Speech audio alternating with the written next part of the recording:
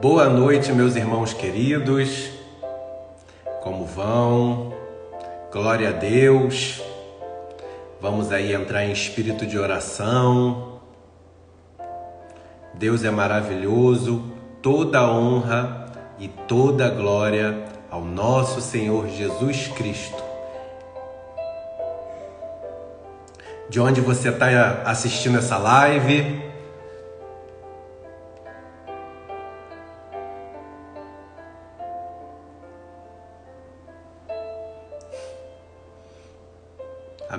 Tiago, Genival. Boa noite a todos. Ed, que está na Flórida. Minha irmã Monique, que já veio me visitar aqui. Wagner de Osasco. Flórida, Porto Alegre. Vamos criar essa corrente no Brasil inteiro de orações. A Paraíba, Belo Horizonte, Realengo no Rio, Monte Claro de Minas, Guadalupe. Deus é maravilhoso. Já estamos aí nos conectando. Tá? Imperatriz no Maranhão, Nova Friburgo no Rio de Janeiro, João Pessoa. Boa noite, Felipe, meu irmão de Brasília. Goiânia, Magé, Tanguá. Vamos entrar em espírito de oração. Não precisa mandar o aviãozinho para ninguém, tá? Porque estará aqui quem precisa estar. Família do Amazonas, Vivi. Sulacap, no Rio de Janeiro, Araruama, Pernambuco, Arraial do Cabo, lindo, Itaperuna, Búzios, a cidade da minha esposa. São Gonçalo, minha cidade de criação, Muriqui, Serrinha na Bahia, cidade do meu pai. Meu pai é de Serrinha na Bahia. Pô, que legal.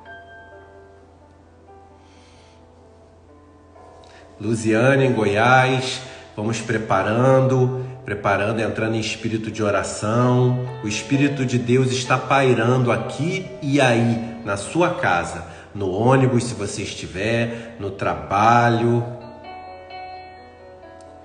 Falar de uma Mariana, minha comadre, quase ganhando nenenzinho, Guigui.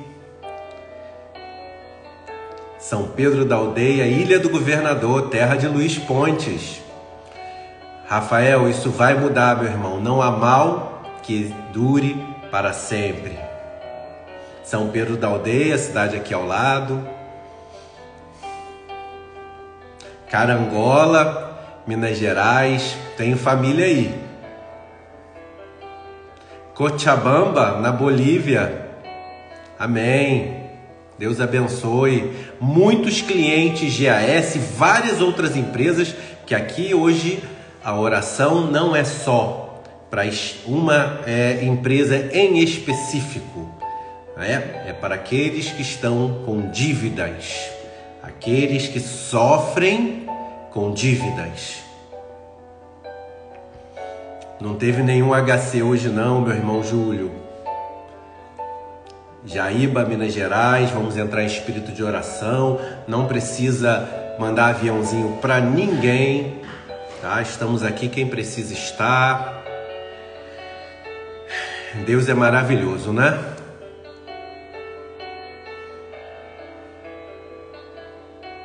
Montes Claros, Jardim Botânico no Distrito Federal. Eu sou do SEI de Cabo Frio, Maicon. Meu pastor Rafael Lemos. Cachoeira de Macacu,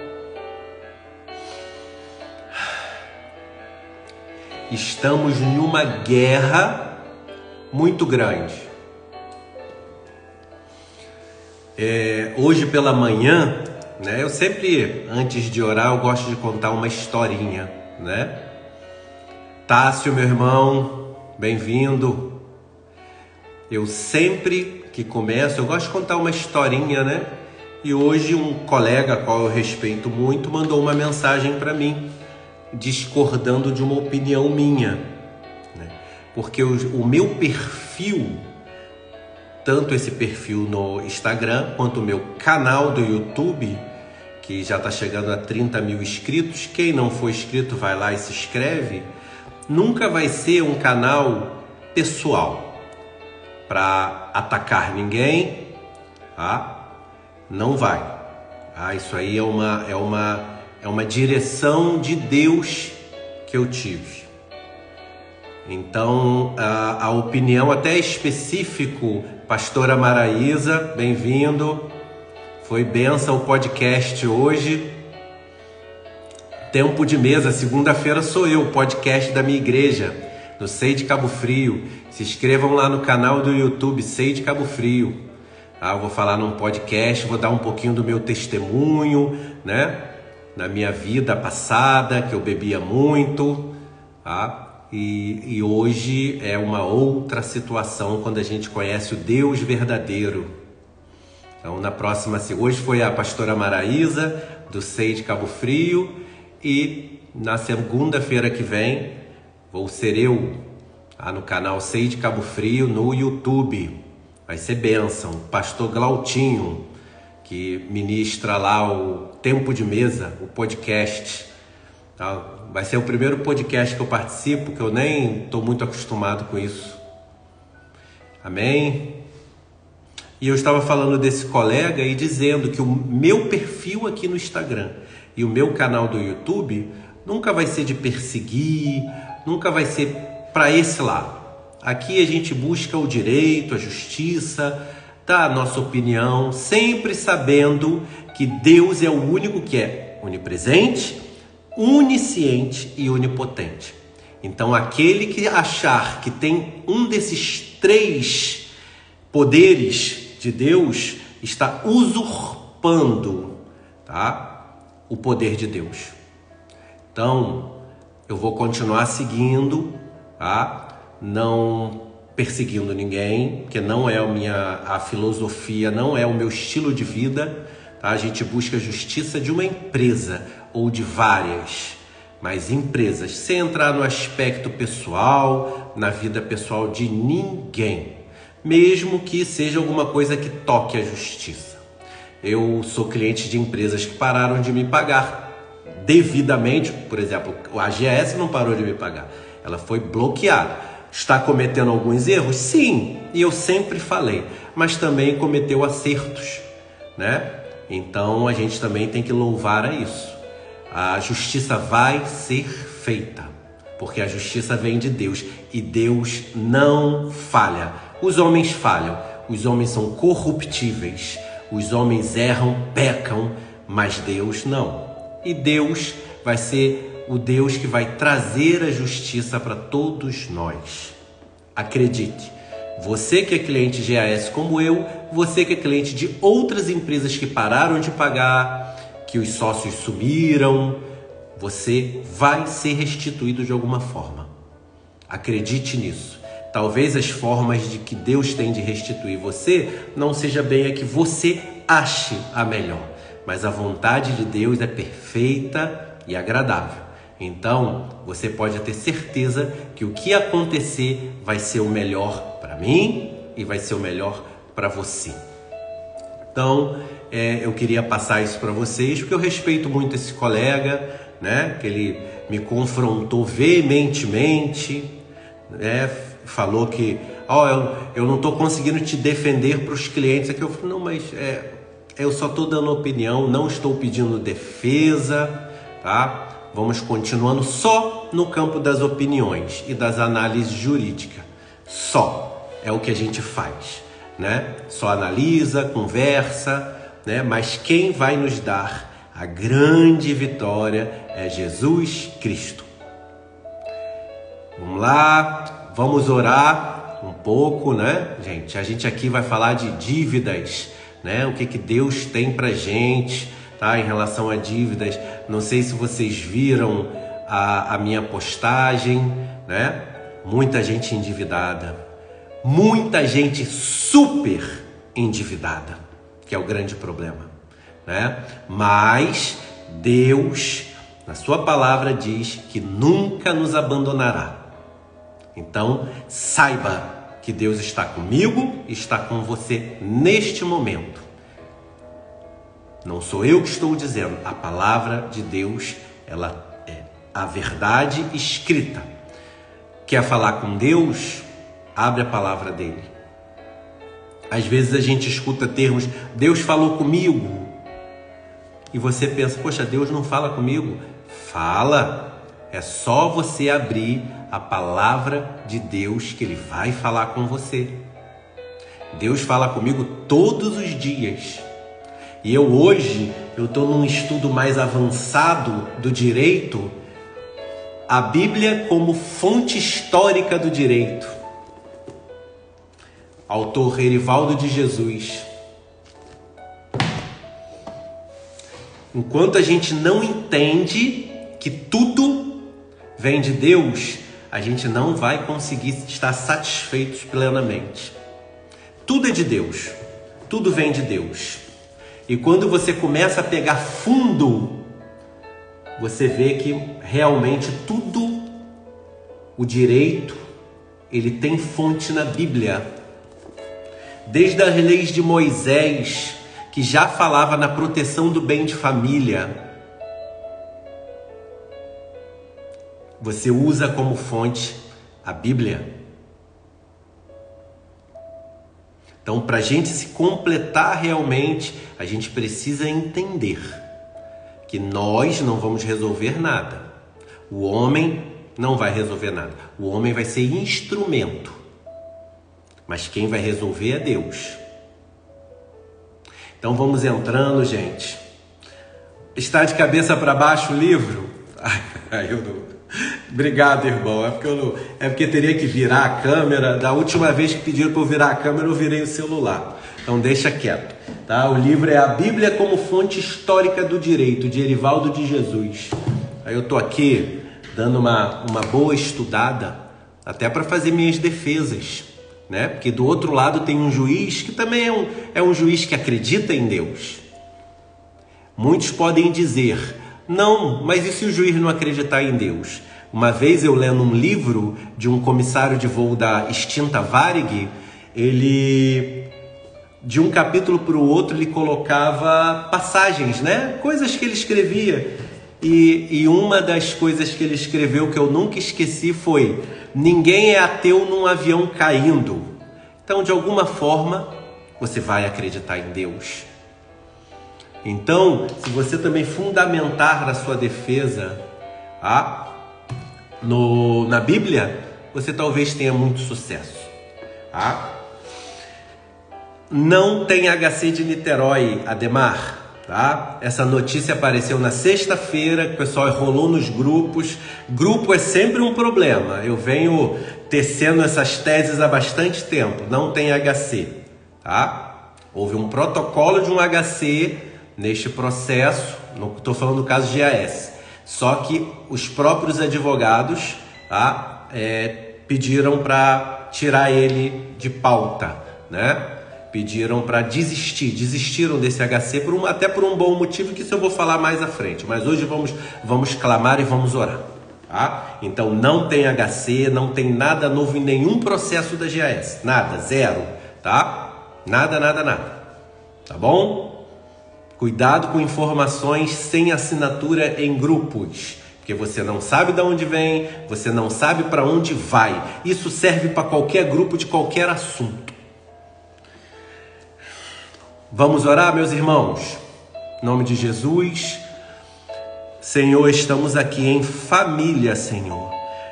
Todas essas empresas, Senhor, que nós investimos, que deram problema, Senhor, paralisados pela justiça ou não, que geraram dívidas, Senhor. Em grande parte dessas famílias, Senhor. Só o Senhor sabe quantas pessoas, Senhor, falam comigo todos os dias, desesperadas porque não tem dinheiro nem para pagar a conta de luz, Senhor. Só o Senhor sabe, só o Senhor me dá a palavra, Senhor para que eu possa acalmar e tranquilizar essas pessoas e dizer: o mal não vai durar para sempre. Isso vai ser resolvido, Senhor. Eu tenho fé, Senhor, esperança, Senhor, e convicção, Senhor. Mas sabemos que tenhamos, temos que nos render a Ti, Senhor, e saber que a única satisfação que vamos ter é em Deus, é em Cristo. Senhor, eu peço, Senhor, que esteja na casa, Senhor, das pessoas que nesse momento sofrem com dívidas, Senhor. Daquele pai de família que está olhando agora para aquele volume de boletos, Senhor, sem pagar, Senhor daqueles que recebem ligação todos os dias, incessantemente, de bancos, financeiras, Senhor. Daqueles que já estão com o telefone cortado, Senhor, com a água cortada, tendo que ter puxado um gato para não ficar sem água, Senhor. Daqueles que estão com a luz cortada, Senhor, usando gato, Senhor, se arriscando até a ser preso por furto de energia elétrica, Senhor Vai nessas famílias, Senhor. Dê o refrigério, Senhor.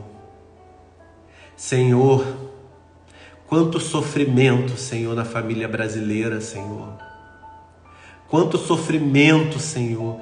Quantas leis que são feitas todos os dias só para beneficiar os bancos, Senhor para tirar a proteção, Senhor, dos consumidores, Senhor, daqueles que pegam empréstimo porque sim é necessário, Senhor. Num país, Senhor, como o nosso, Senhor, que o salário do trabalho de sol a sol não dá nem para pagar as contas básicas, Senhor. As pessoas precisam, Senhor, de buscar um banco que nos escraviza há décadas, Senhor pegar um empréstimo para comprar um carro, pagar em 72 meses, Senhor. Quanta exploração, Senhor. Olhe pelo seu povo, Senhor. Olhe por essas famílias, Senhor.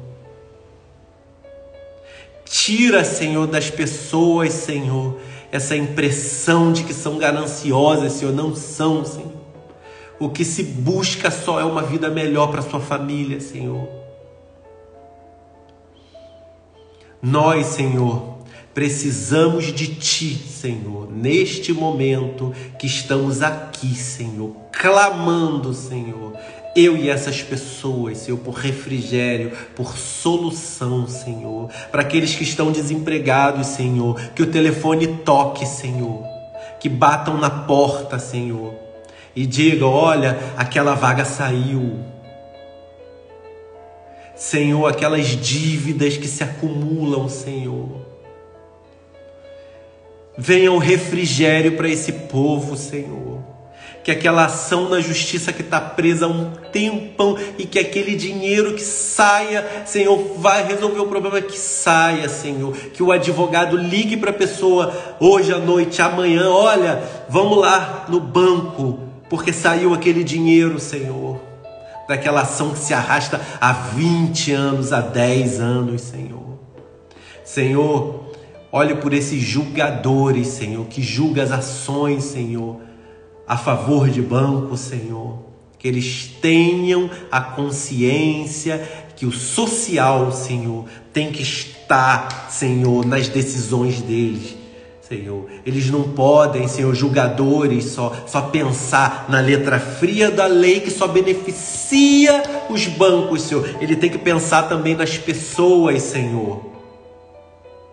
Eles têm que pensar, Senhor, no pai de família, Senhor, que precisou comprar o carro em 72 meses, e 60 meses, porque não tem condições, Senhor, de comprar esse carro à vista, Senhor. Ele tem que pensar naquele pai de família que financia um imóvel por 40 anos, Senhor.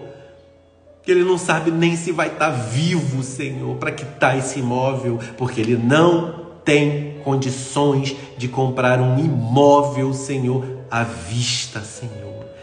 E esse pai de família, eu, esses pais de família que estão aqui, Senhor, só querem dar uma casa confortável, Senhor, para sua família, só quer andar de carro com a sua família em um país que o sistema público de transporte não funciona, Senhor. E quando funciona, é caríssimo. Senhor, tenha misericórdia de nós, Senhor. Tenha misericórdia dessas famílias, Senhor. famílias endividadas, famílias super endividadas e olhes também, Senhor, pelas famílias que estão bem financeiramente, Senhor, para que eles não passem por essa prova, Senhor. É que eu te peço em nome de Jesus, Senhor. É o que eu te peço em nome de Jesus. 76% dos brasileiros se encontram endividados hoje. 23% dos brasileiros se encontram super endividados hoje. Nos meus seguidores desse perfil no Instagram, 54% estão super endividados. Cerca de 40% endividados e 4% bem financeiramente. Amém. A diferença de endividado para superendividado. O superendividado é aquele que não consegue pagar nem a sua conta de água, a sua conta de luz, as suas contas de consumo básicas. Enquanto o endividado é aquele que tem prestações, mas que consegue de alguma forma pagar, mesmo que não sobre dinheiro nenhum. O flagelo da dívida é tão grande que, por estudos do Instituto Brasileiro de Direito de Família, o divórcio em relação a dívidas, a dinheiro, a discussão financeira, vem em primeiro lugar. E em segundo lugar, vem as traições. Olha que situação trágica. Só que Deus, ele fala para você, ele fala para mim: Eu nunca te abandonarei. Eu estou com você. Os sentimentos que a dívida traz é de vergonha. Quantas pessoas falam no meu perfil no Instagram e no meu canal do YouTube? Eu estou envergonhado.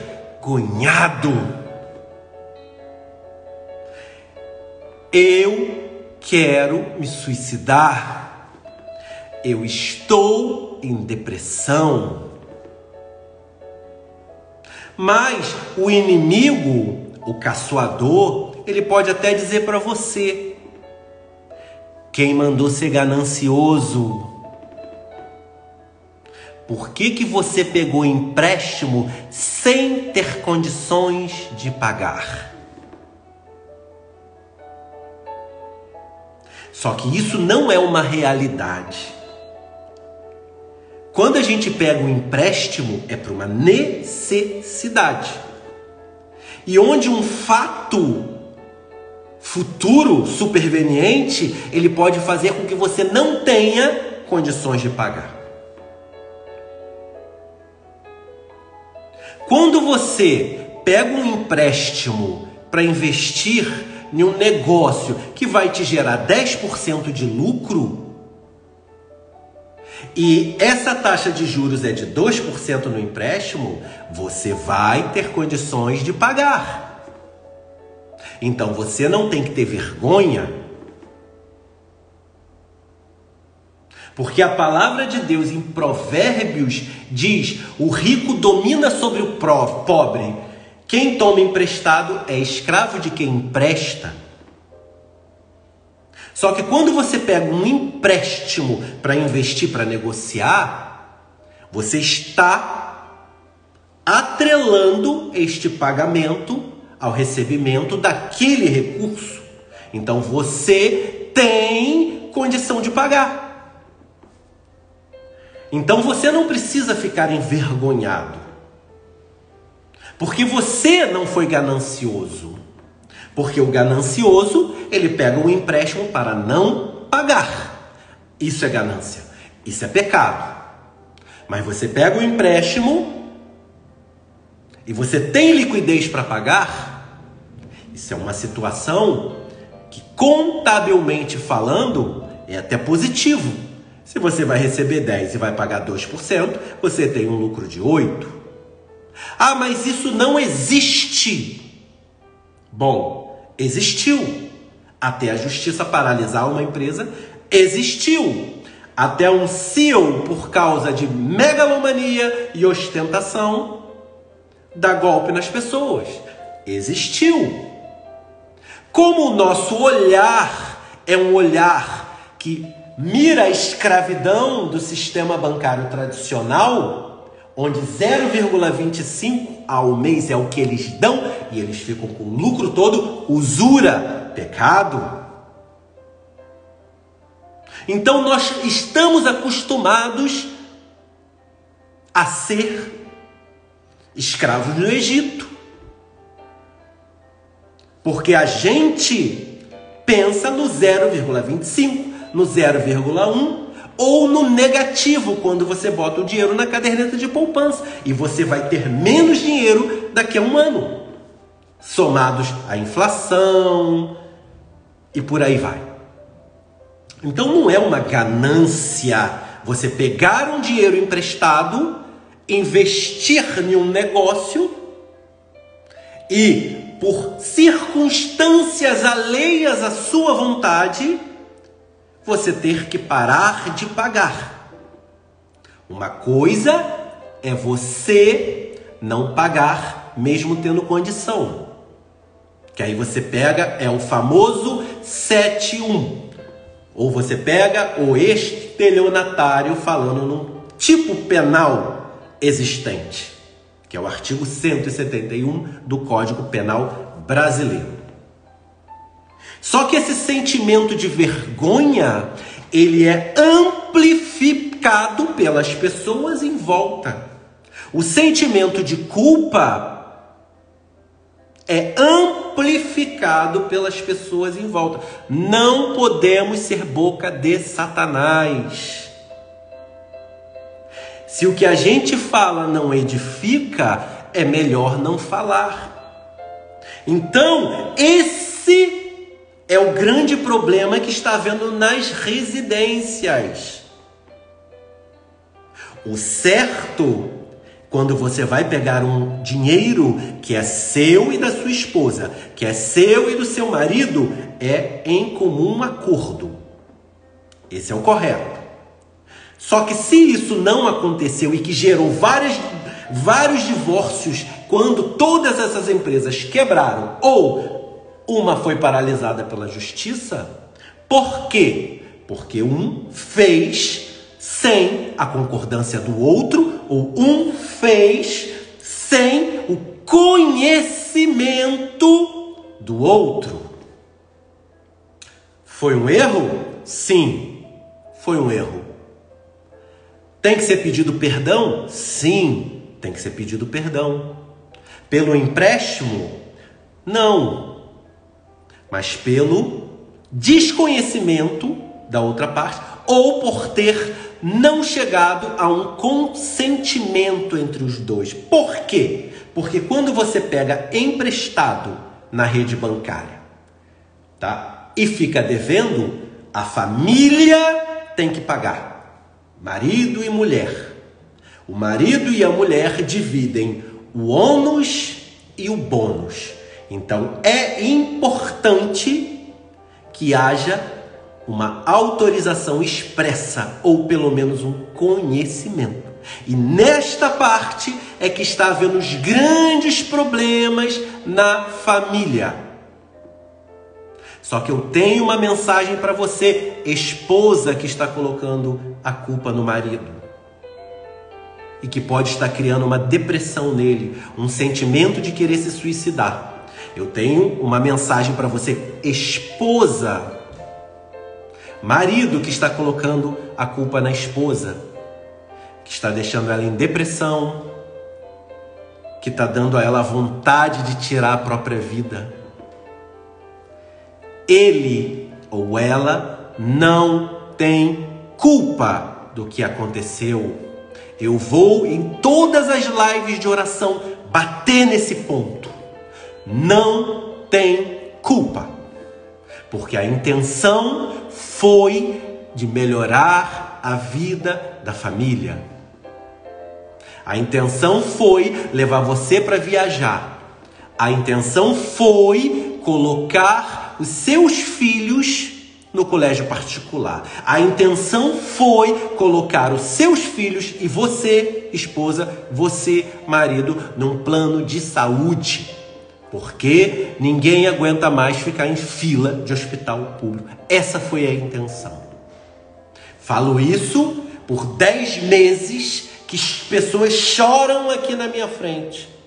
Por dez meses que inundam o meu perfil no Instagram e o meu canal do YouTube com histórias muito tristes de destruição de família por causa de um fato que não foi culpa de vocês. Não foi culpa minha de eu ter colocado um dinheiro que é meu e da minha esposa numa empresa e ter acontecido dela ou dar o golpe ou ser paralisada pela justiça. Só que no meu caso em especial, eu e ela estávamos de comum acordo. Eu e ela tínhamos nossos investimentos. Ela o dela, eu o meu e tudo era nosso. Então, quando aconteceram esses fatos injustos por um lado, no caso de uma empresa, e com sintomas de golpe em outras, nós estávamos em paz. Então, um dos propósitos também de Deus nesta nossa luta, nessa nossa tempestade que estamos passando, é nos comunicarmos melhor com o nosso cônjuge.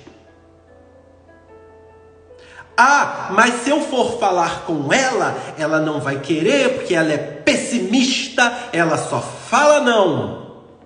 Talvez ela só fala não porque você também agia de uma maneira que ela tinha que falar não. Ah, mas ele é muito pão duro. Ele nunca me deixaria mas talvez ele seja muito pão duro porque você gastava demais. Então, a raiz dessa questão dentro dos lares talvez seja a falta de comunicação transparente e clara. Eu já peguei empréstimos sem minha esposa saber há uns anos atrás, minha esposa já pegou um empréstimozinho sem eu saber. Só que a gente veio se afinando de tal jeito, se lixando de tal jeito, que hoje a gente comunica um ao outro. Fala, diz por quê, porque se acontecer alguma coisa, eu vou ter que ajudá-la a pagar ou ela vai ter que me ajudar a pagar. Então, se eles vão ter o ônus, o nosso cônjuge, tanto maridos quanto mulheres, então o correto, o legal é que seja dado o direito da pessoa concordar ou não, fundamentado. E que a pessoa que busca esse empréstimo por qualquer motivo, tenha a maturidade e a sabedoria em Deus de entender que aquilo não está sendo uma crítica ou só diz não, mas que está sendo um conselho daquele que vive ao seu lado, que é sua ajudadora, ou que é seu marido, que é o líder espiritual da casa. E essa maturidade essa sabedoria é só clamando em oração. Eu conversando hoje com o meu colega Dr. Fagner, ele falou uma coisa muito interessante, falou assim: "Pergunta na live". Eu falei: "Realmente. E se o dinheiro voltar hoje? Você está preparado? O que, que você vai fazer? Você já pensou nisso? Vou pagar dívidas. Amém. Mas vai resolver? Qual a forma que você vai pagar? Você vai sair pagando? Você vai sentar, você vai conversar com sua esposa, você vai botar as prioridades Não, calma aí, vamos pagar isso aqui, vamos pagar. Como é que você vai fazer? Você já pensou nisso? Eu achei muito interessante que o Dr. Fagner me perguntou. E se o dinheiro voltar hoje? Eu também não tinha pensado. Aquilo ali me deixou à tarde em reflexão. O que que a gente vai fazer com o dinheiro? Se ele voltar hoje. Isso eu falo para todos de todas as empresas. Dois. E se o dinheiro não voltar? O dinheiro só é certo quando está no nosso bolso. E se o dinheiro não voltar? Que, que você vai fazer?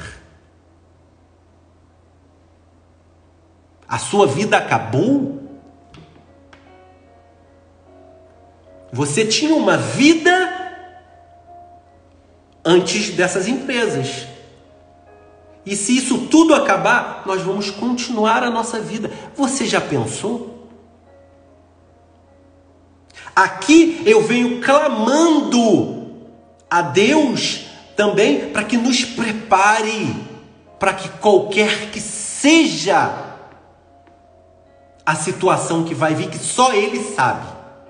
Só Deus, que é onisciente, onipotente e onipresente, sabe o que vai acontecer. O nosso futuro já está escrito.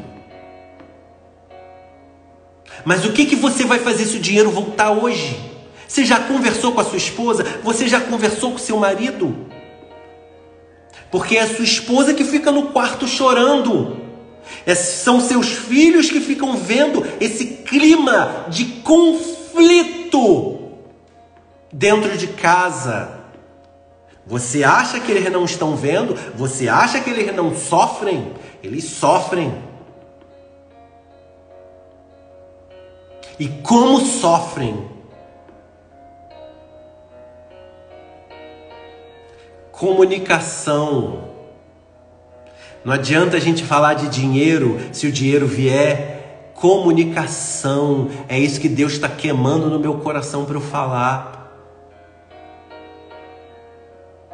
Talvez o propósito disso tudo que Deus tem para gente é que possamos saber nos comunicar melhor com o nosso cônjuge. Porque a sua atitude às vezes traz transtornos para aquele que está a seu lado todos os dias.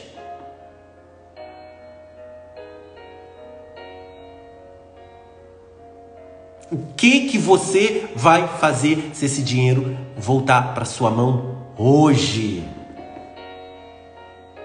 O que que você vai fazer se o seu dinheiro não voltar? Precisamos cair de joelho e clamar por sabedoria. Tudo é possível acontecer. Talvez uma empresa, a chance do dinheiro voltar seja maior do que as outras. Talvez aquele que esteja desempregado consiga resolver com o banco ou com as financeiras antes de um empregado, usando a sabedoria que só vem de Deus. Quem é você? Quem é você em Deus nessa hora? Várias pessoas estão reclamando. Eu acabou com, aconteceu esse problema com a GAS, com a Rental Coins, com a Alfa, eu acabei entrando em outra empresa e tomei o golpe de novo. No caso de outras empresas, perdi o dinheiro de novo, no caso da GAS, que o dinheiro ainda não está perdido, não está perdido. Mas talvez tenha sido por falta de escutar, não só o cônjuge, mas pessoas em volta Calma, o mar não está para peixe. Isso circulava na internet o tempo todo. Só que você decidiu investir novamente. E aconteceu o problema. Tem horas que Deus bota uma situação na nossa frente para a gente parar, olhar em volta, respirar e orar e não fazer mais nada. Orar, esperar a orientação de Deus, sabedoria. Só que por mais uma decisão precipitada, por mais uma decisão impensada, entrou de novo. Se tiverem hoje, em nível nacional, uma ou duas empresas funcionando, porque me perguntam a toda hora, doutor Jefferson, tem alguma empresa que eu possa colocar o meu dinheiro? Eu falo, sim, no seu bolso. O mar não está para peixe. Você não está vendo o que está acontecendo? Deus já não te mostrou o que, que está acontecendo? Não é melhor você parar? Não é melhor você cair de joelho e clamar? Não é melhor você deixar o seu dinheiro guardado? Precisamos escutar a voz de Deus, ler a Sua palavra, não ficar parado. Doutor, o que, que eu faço? Que as pessoas sabem que a minha especialidade é contrabando. O que, que eu faço? O que, que eu faço? Calma. Calma. Doutor, eu vou devolver o meu carro para o banco. Calma. Você pagou por ele. Calma.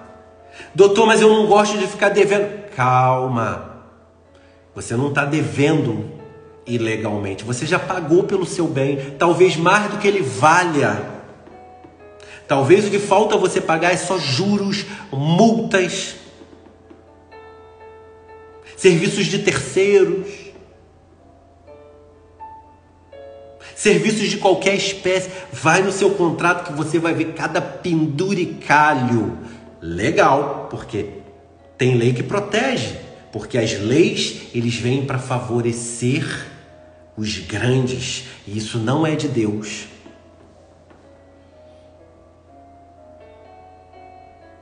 Já me perguntaram assim, doutor, você acha que banqueiro vai para o céu?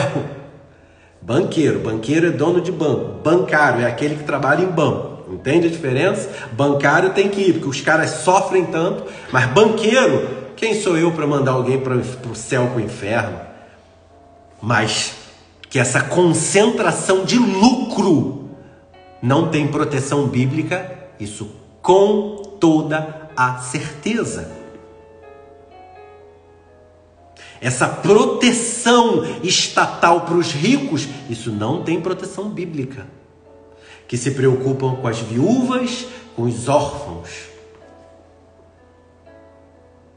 No Congresso Nacional está sendo votado um plano, um projeto de lei que tira o benefício do bem de família, que já, tá, já vem protegido desde a lei de Moisés. está sendo votado para retirar a proteção do bem de família nas dívidas bancárias. Mais uma lei para beneficiar bancos. Mais uma lei para beneficiar os poderosos. Mais uma lei para deixar o povo cada vez mais pobre.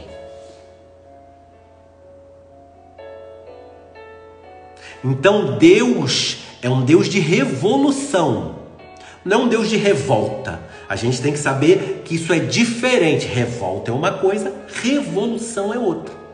Por isso que é necessário o conhecimento da palavra, viver no centro da vontade de Deus, que aí eu e você seremos revolucionários, porque a gente vai querer um mundo melhor, um mundo diferente. Porque nós seremos pessoas melhores. Aquele Jefferson que bebia e vivia bêbado, ele não existe mais, porque eu encontrei o Deus verdadeiro. Aquele Jefferson que ganhava muito bem, mas que o devorador devorava tudo, e o meu devorador era bebida. Esse devorador não existe mais. Porque eu, graças à minha esposa Renata, conheci o Deus verdadeiro. Quando eu e minha esposa temos problema em casa, Não é briga, discussão e voando prato. É conversa. Porque eu conheci o Deus verdadeiro. Não foi porque o Jefferson carne ficou bonzinho, porque eu não sou bonzinho. Advogado não é bonzinho. Não é uma profissão de bonzinhos. Mas porque eu conheci o Deus verdadeiro. Que aí você se comunica com os frutos do Espírito. Aí você senta com a sua esposa e você está endividado, você vai conversar, olha, vamos fazer isso, vamos fazer aquilo, vamos fazer aquilo. Porque num ambiente de briga que está acontecendo em milhares de casas por causa de dívidas e potencializada por esse problema que está acontecendo no Brasil inteiro, tá? Não é uma coisa de Cabo Frio por causa da GAS ou em Curitiba por causa da Rental Coins ou Niterói por causa da ATA. Não, é no Brasil inteiro. Eu tenho listado 189 empresas que pararam de pagar. Uma por decisão judicial, a GAS. As demais pararam de pagar. Aí os motivos se espalham de uma maneira assim descontrolada. Mas antes do dinheiro voltar Jesus tem que entrar em você. Você tem que abrir a porta para que ele entre e sente e ceie ao seu lado. Porque senão o dinheiro vai voltar e ele vai embora. E quando você vê, nada mudou na sua vida. O que que você está fazendo para mudar agora? Tem propósito. Estamos na tempestade. Estamos aprendendo a andar sobre as águas. Porque aprender a andar sobre, sobre as águas é só na tempestade, não é com o mar calmo. O que, que nós vamos fazer? Nesse propósito, o que, que a gente está fazendo? E aí, estamos sentados, reclamando? Ou estamos sendo fortes e corajosos como Deus determina? Empunhando a espada da justiça e buscando justiça para a coletividade, para a nossa família e para a gente. Quem nós somos nesse momento? O que, que você está fazendo para resolver essa questão? Chorar em cima de boleto? Resolve. O tempo de chorar passou, agora é o tempo de coragem. Deus está conosco. Não desista. Erga-se. Revista-se da couraça da justiça. O amanhã pertence a Deus. O hoje nós podemos fazer alguma coisa. Amanhã eu levanto e resolvo. Não. O amanhã pode não existir para mim ou para você. É o hoje. Se você está com problema com a sua esposa por causa dessa questão de dívida, senta com ela, pede perdão e se reconcilia. Aí começa-se a caminhar a solução. Ou se o dinheiro voltar, cada um vai pegar metade. E um vai, cada um vai para o canto. E os filhos ficam no meio. Vai gastar dinheiro com um advogado te defendendo na divisão de bens e, na, e no divórcio. E aí, resolveu alguma coisa? Tá na hora de realmente usarmos a espada da justiça que Deus já deu. Cada um tá com uma. Olha, ela tá na sua mão ela não é uma âncora, ela não está te deixando parado. Ela é para você avançar. Avança. Não tem dinheiro para avançar de carro, avança a pé, mas avança. Se reergue. Levanta. A dívida não vai te matar, ela vai te forjar. Você nunca mais vai passar por isso porque você aprendeu. porque você aprendeu a andar sobre as águas. Você vai dar testemunho lá no futuro para pessoas que começarem a pagar pelo que, passar pelo que estamos passando agora. Você vai ser testemunho para várias pessoas. Mas para isso você tem que pegar essa espada da justiça e usar. Não seja covarde, seja forte. Deus está com a gente. Nós vamos vencer. Acredite, pegue essa palavra para você. Senta com a sua esposa. Senta com o seu marido. Pede perdão porque você não falou que ia fazer e comece uma nova história. Não adianta, eu não aguento mais a minha mulher, vou embora. Vai dar na mesma. Não aguento mais meu marido. Homem é tudo chato, só muda o CPF. Às vezes um é careca, o outro é cabeludo, mas é tudo igual. Então, fica com o seu. É carequinha, tal, meio barrigudinho, mas é seu. Fica com o seu. Senta e se acerta com ele. Senta com a sua esposa e se acerta com ela. Vamos seguir, meus irmãos, somos uma família. As dívidas vão ser resolvidas quando você se resolver. A dívida vai ser resolvida quando você entender que Deus que vai te dar a provisão. Aí as suas dívidas vão ser resolvidas. Eu não vim aqui para falar que as dívidas vão ser resolvidas porque vamos entrar com um processo. Não, o processo é você. Você é o processo para você se levantar, se animar, seja forte, corajoso. Deus está com você, Ele não vai te abandonar. Aí a sua vida vai fluir em Deus, o seu casamento vai mudar, os seus filhos vão se alegrar. Aí aquela dívida que te perturbava, ela não vai mais te perturbar. Porque você vai estar tão satisfeito em Deus que se você não tiver cinco reais para comprar uma Coca-Cola, você vai caminhar com sua família conversando felizes da vida. Aí o dinheiro vai vir, porque você não vai estar tá mais precisando dele, porque a gente precisa é de Jesus. Aí o dinheiro vai vir, o banco vai te ligar, poxa, aquela sua dívida que era de 100 mil, vamos fechar por 10? Aí aquele processo que está defendendo a sua busca e apreensão vai fazer acordo, tudo vai desatar. Porque você, que é o processo, entendeu que só Deus que vai nos satisfazer. Seja forte, seja corajoso. Deus é com todos nós. Não desista não desista. Vamos seguir firmes. Vamos seguir firmes. Todos nós estamos de mãos dadas, caminhando como peregrinos rumo à eternidade. E juntos conseguiremos, conseguiremos a vitória. Seja forte, meus irmãos.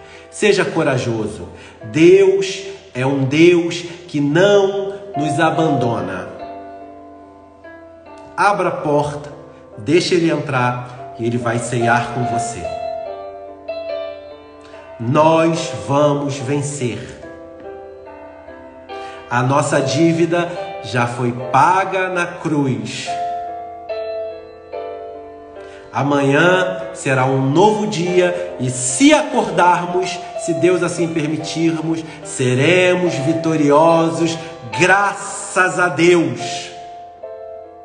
Vamos firmes, meus irmãos. Não desistam. Essa pessoa que está aí do seu lado é a sua melhor amiga, é o seu melhor amigo. Esses pequenos que estão aí são os amores e a riqueza e herança de Deus para você. São flechas que você vai disparar e que elas vão ser bênção no mundo inteiro. Você é a pessoa mais importante do mundo. Não esqueça disso. Deus é com você, Deus é comigo. Vamos vencer. Já vencemos. Só basta a gente aceitar aquele que é o único que nos vai dar a vitória. Amanhã é um novo dia. Família, que Deus abençoe a todos. Dívidas, nunca mais, que ela já foi paga no, na cruz por nós. Uma boa noite a todos, que essa noite seja uma noite de bênção, de glórias. Deus conforte as famílias, Deus esteja com vocês, comigo, que a gente vai vencer, nós somos uma família. Deus abençoe.